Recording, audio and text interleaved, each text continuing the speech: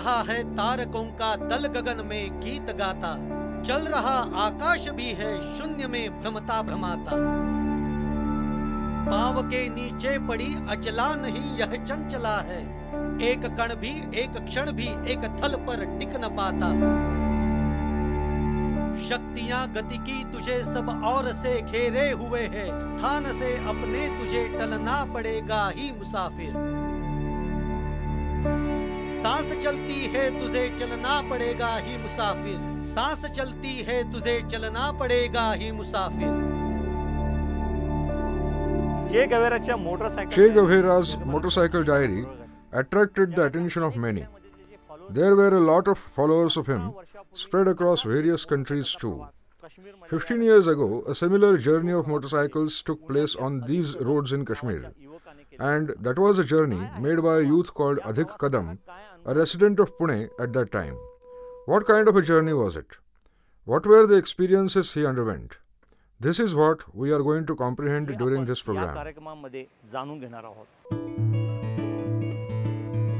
Kashmir, a scenic white reality with blots of red blood marks blaring on this heavenly landscape. Being aroused out of curiosity toward this burning problem of Kashmir, a young 19 years old student of political science studying in Pune leaves behind his safe and secure life and straightaway lands in Kashmir. From 1998 to 2001, he wanders through the villages in Kashmir Valley with the sole objective of understanding it. 98 99 का तकरीबन वाक़ा है It was a time of 1998-99 approximately when I was coming from Lonar to this Verban when I saw two of these guys traveling on a bike. Those were the frightening days of bullets and terror.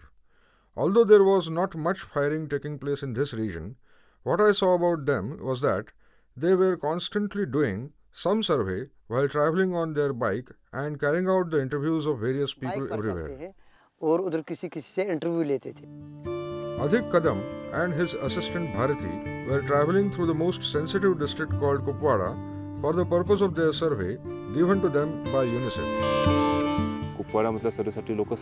Several other activists like me were demanding anywhere between rupees 3 lakhs to rupees 3 lakh 50,000 for conducting a survey in the Kupwara district, whereas we carried it out only in rupees 11,000. Besides, we used that amount of 11,000 for filling petrol in our bikes only. गाडी में petrol टाकलं In Kupwara district alone, they found more than 22,000 orphan children. Hundreds and thousands of stories of tragedies were connected with these children, further mystifying the scenic white beauty of this landscape, drenched in stunning bloodbath that would leave all human senses shaken and frozen. There was one such time that every single day, I mean it, every single day, throughout all the four or five months we might spend here, would be a witness of some gruesome happening or the other taking place here. Just assume, quite literally, that I have spent two, three months in succession weeping continuously here. Every such instance of crying would be followed by a session to willfully offer prayers. Such a contrasting series of tears and smiles, blended with hope and despair, went on providing strength to me to work here and look forward to stopping this menace one day. My mind had given me the verdict stop here and strike your roots in this soil. तुला थांबायचंय तुला काम करायचंय तू इथं थांब Moreover, the condition of the orphan girls here was much worse. There were several instances such that both the father of a girl and two of his brothers were all militants. Both the uncles died during the skirmishes with the security forces, and father died due to the illness caused by the torture in the hands of the patrolling armed forces. As a result of this dreadful situation, their mother lost the balance of her mind and became insane. Nobody knows where their mother is located. As a result of this, the panchayat head of the village sent all of those three unfortunate sisters at our home.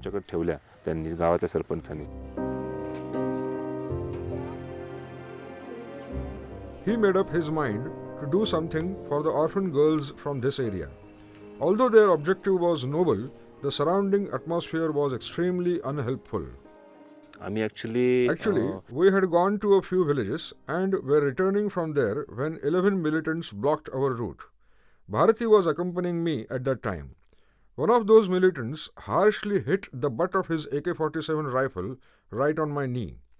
It caused such a severe pain to me that I groaned and screamed then and there. It was then Bharati explained to them by saying, Brothers, we are from Bombay and have arrived here for helping the women, orphans, and widows.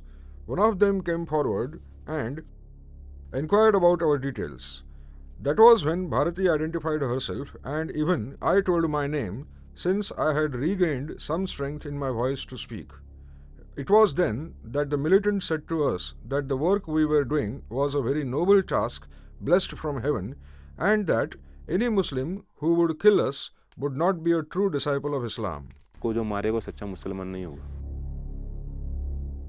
This way, not just once or twice, but Adhik has had to confront terrorists in Kashmir no fewer than 19 times so far. And it is by passing through such trying circumstances and ordeals that he has come up with a divine piece of work that has truly glorified the values of mankind Borderless World Foundation. How did the name Borderless arise? The incident that inspired this unique name, too, is one that compels the sensitive minds to experience the prevailing circumstances. Across the mountains here, there is a village called Pithol. When we visited that village, there were matrimonial rituals being performed. The actual wedding was taking place in a different village located beyond the Indian border, that is in Pakistan. But even then, the people from this village on the Indian side were busy in their enjoyments such that they had erected a tent and were doing everything that a wedding ceremony calls for. The only difference was that they were unable to visit that other village across the border. I found it really odd. I asked them, if there is a wedding going on, where is the bride? They replied, the bride is located across the border in mountains. I asked them, then how is that you are conducting the rituals here?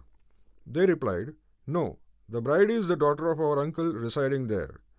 I thought it was all really nice. A few days later, an 87 year old senior citizen staying in that village located across the border in Pakistan died. A replica of that funeral procession held in that village was conducted in the village located on the Indian side, including the burial ceremony, because the deceased was an uncle of one of the Indian villagers. Both the communities of people in Pakistan as well as in India conducted prayers for the departed soul. This evidently shows that these people are united both in their moments of joy and grief. What have the parting countries achieved by setting up international borders is only defining the geographical boundaries between themselves, but they have miserably failed at dividing the minds of the people dwelling here. Both the governments have failed to create truly called bordering regions. It was in that unique village we discovered that the name of our organization can only be Borderless World Foundation. Under the auspices of this organization, there are rehabilitation hostels, the homes of joy called Basera-e Tabassum in Kupwara Anantnag, Bidgha, and Badgaon districts for Muslim girls, and Fa for Hindu girls in Jammu. The world surrounding each of us is full of instability, but the environment surrounding these innocent children is terribly grave. Amid this life full of adversity, these are the scarce few homes of joy that bring a few rare moments of happiness in the lives of these unfortunate children. It's so easy to choose sides in Kashmir, and you can be a Muslim or a Hindu, but it's so hard to be a borderless.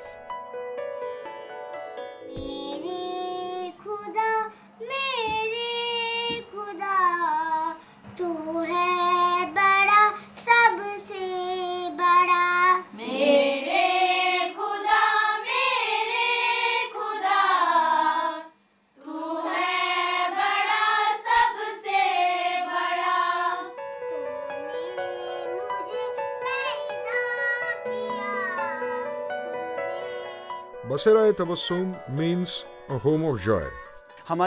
At present, our Basera Tabassum project is going on at Birwa. At this hostel, 40 girls have been accommodated. Besides, at our rehabilitation homes in Anantnag, there are 22 girls. 65 girls are offered shelter at our rehabilitation home in Kupwara, and even in Jammu, we are supporting 10 to 12 girls at our center. We are working for all of these girls. Indeed. These are the living buds of flowers blossoming in the homes that offer softness and tender affection to these unfortunate girls. Their innocent smile was once wiped off by the surrounding environment. My father was killed by the militants. Thereafter, my mother brought me here. My father has died. My mother is unable to earn sufficient money to help me acquire higher education. ज्यादा पढ़ पढ़ा सकते पहले My मेरे father had died and we were four children left with our mother. We were two brothers and two sisters. Even my younger sister is staying here with me. This is Rubina. Her father was himself a militant. Later, he surrendered before the Indian Army. Thereafter, a few months passed peacefully. But soon, some of the militants invaded their home and killed Rubina's father.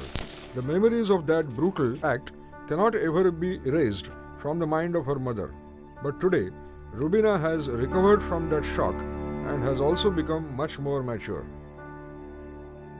When I arrived here, I was not aware how to survive in a life ahead, how the girls are looked after here and how can a girl lead her life in her society. The problem in a village is that there is no one except parents to answer this question. Moreover, how far can even the parents be of any use in this context if they are themselves not educated sufficiently? I couldn't even talk in Hindi language when I arrived here. It was here that I learned to speak in the Hindi language. This caretaker elder sister, Didi, as she is called, is worth everything in their lives for these orphan girls staying here. I deal with them as if I am their mother. I make them understand that this itself is their new home now and not the one from where they have come. This is where they should look for the warmth of a home.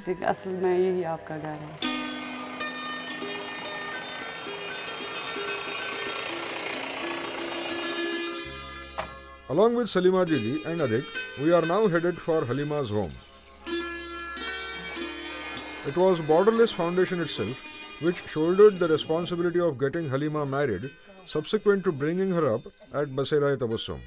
Today, she is a mother of a cute little daughter. What do you think of Basera-e Tabassum?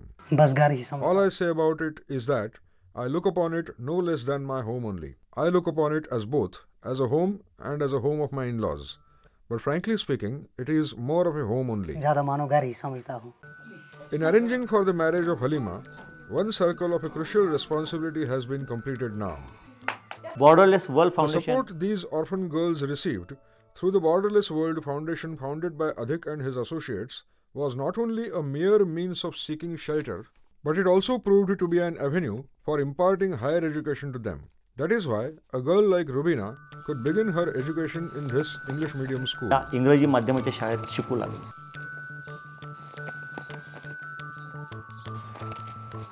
These girls are sent to the renowned schools located nearby.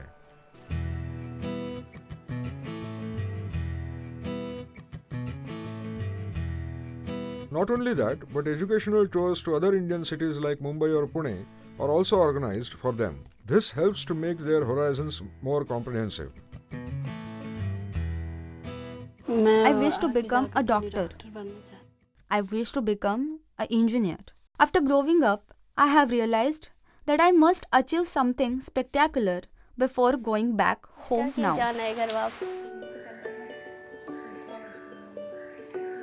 This organization has made available the facilities for the higher education of three girls from here in Pune.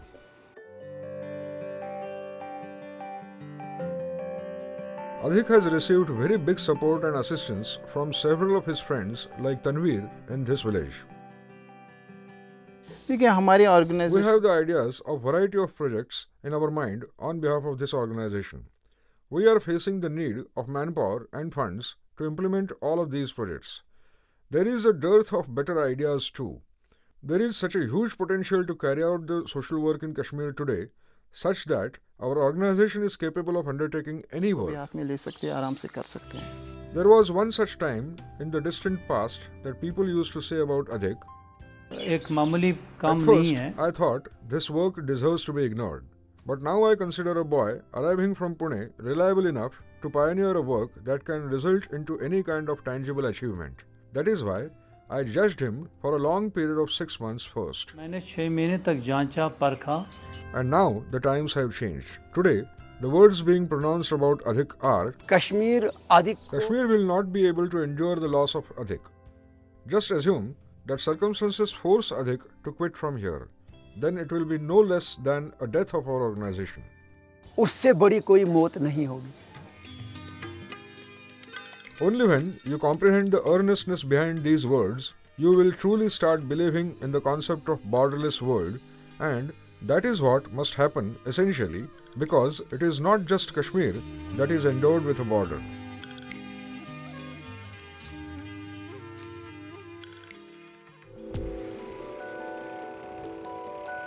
Let me tell you something about these girls. I deem all these girls as my mothers.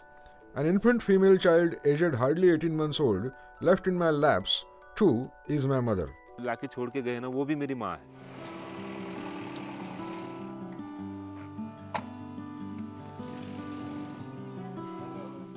These are the relationships that have truly blossomed out of pure love through the seamless affection that binds them together forever. It is Adhik only who is father and mother as well as a brother and sister. Rather, he is everything for us in our life. I'm sad to observe that there is no such boy like him in our entire state of Jammu and Kashmir. Terrorism does not have any religion to abide by, nor any color to claim allegiance to.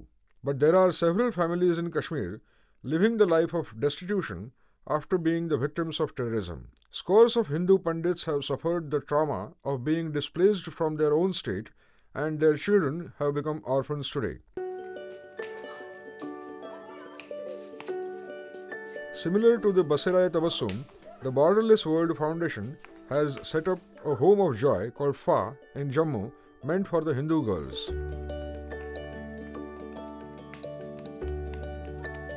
We have rendered all the facilities for these children, such as their accommodation, their schooling, studies, clothes, so that we want them to stand on their own legs in their future life. in their future life Everything put together, the expenses being incurred on all of these girls run into a few lakhs every month. The active contribution being made by the friends of Adhik for making provisions of the funds required to meet these expenses is equally significant. आमचे सगळे जे ग्राउंडवर आमचे मित्र होते